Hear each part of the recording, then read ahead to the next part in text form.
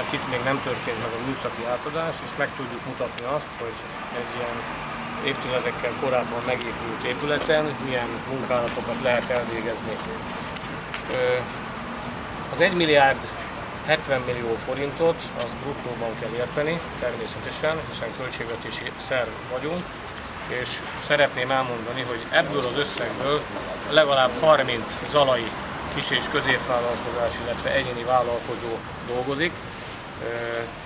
Kifizetés folyamatos, az egész konstrukció előfinanszírozottá vált, hiszen a Nemzeti Fejlesztési Minisztérium államtitkára itt járt nálunk, rendben találta a munka minőségét, sebességét, mindent, és felajánlott ezt a lehetőséget, hogy tegyük a támogatási szerződést utólagos finanszírozásból előfinanszírozottá. Ez azt jelenti, hogy komoly összegek érkeztek az amerikai kormányhivatal számlájára, amelyet mi a benyújtott számlák alapján mérteki leigazolás mindenféle felszerelés után minél előbb kifizetünk a fővállalkozóknak, illetve az alvállalkozóiknak.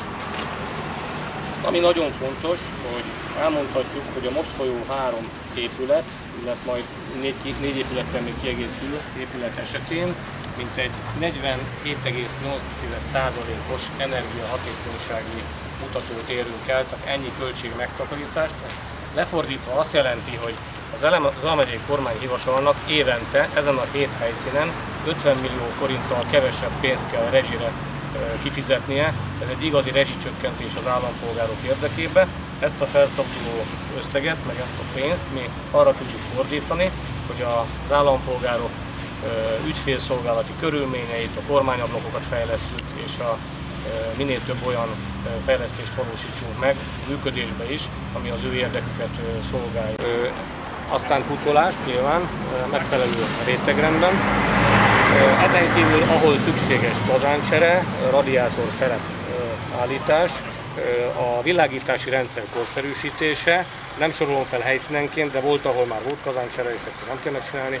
És ami nagyon fontos, a használati melegvíz érdekében napelemes napkollektoros rendszer szereltek föl, ezt a helyszínen megtekinthetjük, én fölmegyek, fölmászok a tetőre, lehet úgy is fotót készíteni. A harmadik emeletről látható a legjobban, leginkább ez a dolog azt hiszem minden részletesen elmondtam, arra biztatnám önöket, hogy a jelenlévő kivitelező mérnöktől is bátran kérdezzenek. Én azt tapasztaltam, hogy nagy szakértelemmel, nagy, magas minőségben, határidőre dolgoznak, de hát így van az, amikor az ember időben fizet, vagy arra törekszik a megrendelő, hogy fizessen időben, vagy a fővállalkozó. Tulajdonképpen a, a munkavégzés